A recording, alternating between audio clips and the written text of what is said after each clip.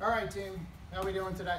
Uh, today we're going to be going over a few different variations on how to deal with the leg kick, how to check it, and a couple of follow-ups that we can be doing. So here we go. Okay. First one, you're going to block with your shin, skip, and then fire back the same side with the kick.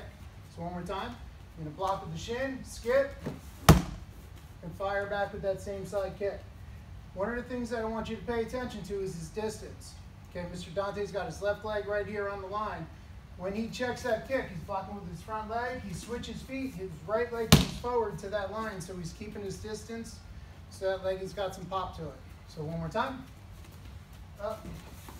Good. Other side.